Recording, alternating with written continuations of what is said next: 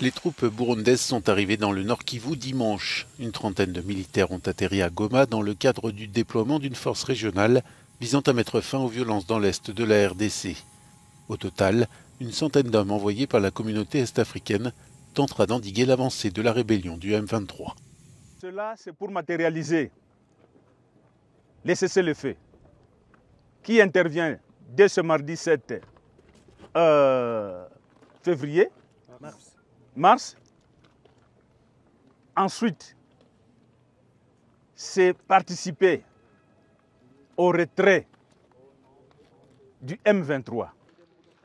La petite troupe se déploiera dans les prochains jours entre Sake, Kilolirwe et Kichanga. Des troupes sud-soudanaises et ougandaises sont encore attendues sur le sol congolais pour compléter le dispositif militaire décidé par l'EAC.